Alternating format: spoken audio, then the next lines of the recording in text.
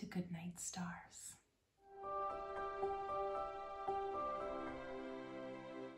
Tonight we are reading a very special rhyming poem by Arthur O'Shaughnessy called Ode, and you might also know it as We Are the Music Makers. I've loved this poem since childhood. I'm so excited to finally read it to you tonight.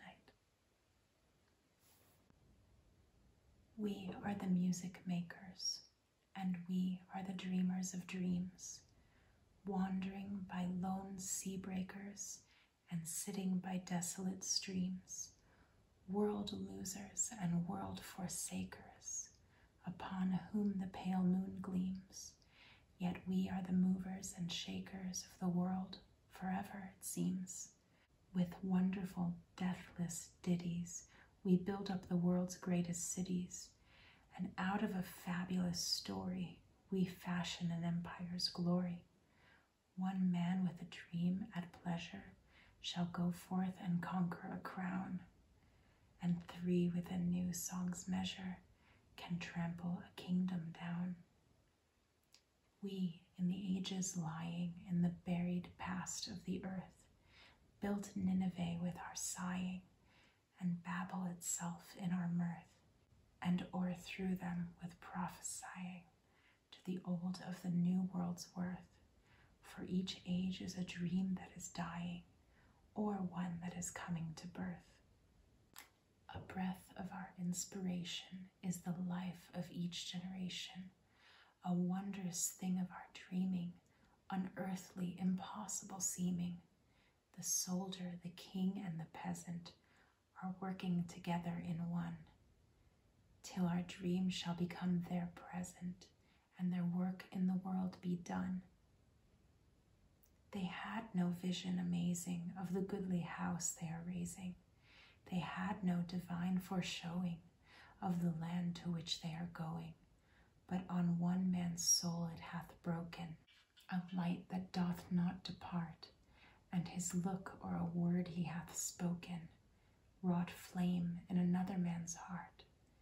And therefore today is thrilling with a past day's late fulfilling and the multitudes are enlisted in the faith that their fathers resisted, and scorning the dream of tomorrow, are bringing to pass as they may in the world for its joy or its sorrow, the dream that was scorned yesterday. But we, with our dreaming and singing, ceaseless and sorrowless we, the glory about us clinging, of the glorious futures we see, our souls with high music ringing. O oh, men, it must ever be that we dwell in our dreaming and singing, a little apart from ye. For we are afar with the dawning and the suns that are not yet high, and out of the infinite morning, intrepid you hear us cry. How spite of your human scorning, once more, God's future draws nigh, and already goes forth with the warning that ye of the past must die. Great hail, we cry to the comers from the dazzling unknown shore. Bring us hither your sun and your summers, and renew our world as of yore. You shall teach us your song's new numbers, and things that we dreamed not before yea, in spite of a dreamer who slumbers and a singer who sings no more. Thank you for listening to Ode by Arthur O'Shaughnessy.